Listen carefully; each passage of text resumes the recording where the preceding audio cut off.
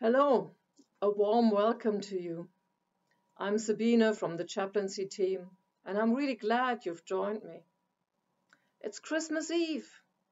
Many people around the world are getting ready for the festive season, while others simply dread this time when you're supposed to be happy, but you are anything but.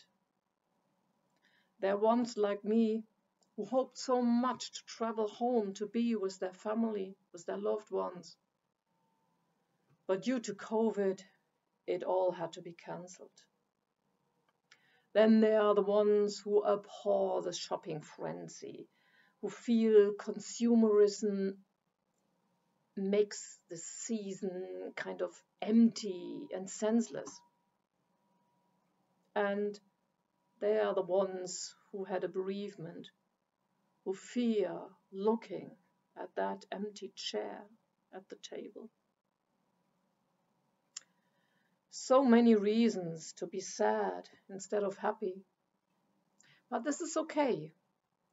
We do not have to feel the way the Christmas advertisements ask us to be.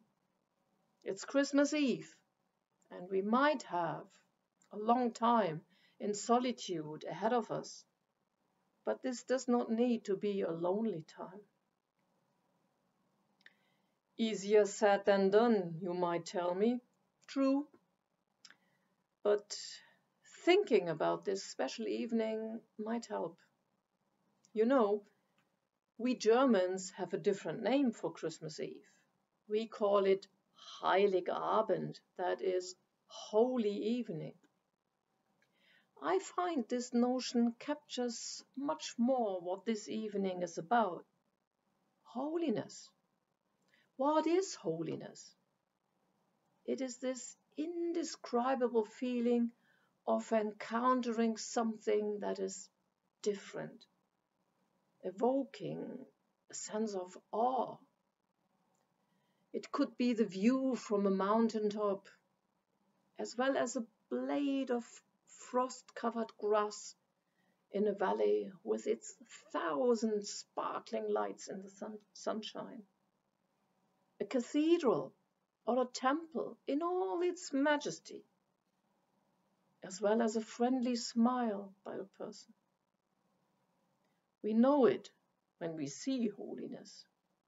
There's something special about it, something beautiful pointing to something or someone bigger than us, putting our egos back into the right perspective. We cannot make holiness, but we can perceive it. It is a generous gift to us by our Maker, or whatever you believe is at the root of our planet thinking about it, we get a bit of holiness every day. When the sun comes up, when we breathe, when a friend sends a kind message. Actually, we are getting many presents every day. We have a life, food, friends, people who care about us. It is so easy to take all of this for granted the sharp stop that COVID or other adversities have put to our hopes make us realize again how blessed we are in so many ways.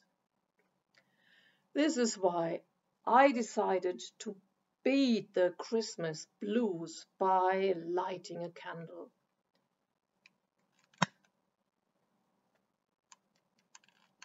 And by reflecting on all the good things in life. The light shines in the darkness, and the darkness cannot overpower the light. These words are from the first chapter of the Gospel of John. And in the hours of darkness, I will hold on to these words. Bless you all this Christmas Eve. My heart goes out to you. Be in touch with us if you have questions. Take care.